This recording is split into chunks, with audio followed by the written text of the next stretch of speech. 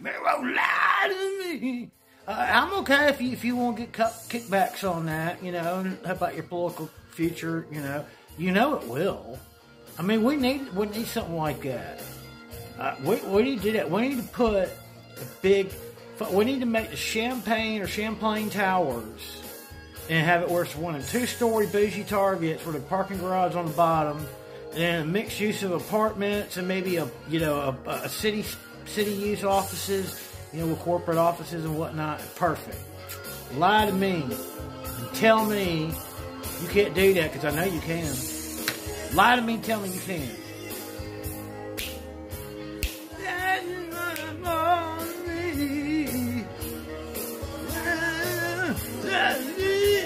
He's got a lot of guns. God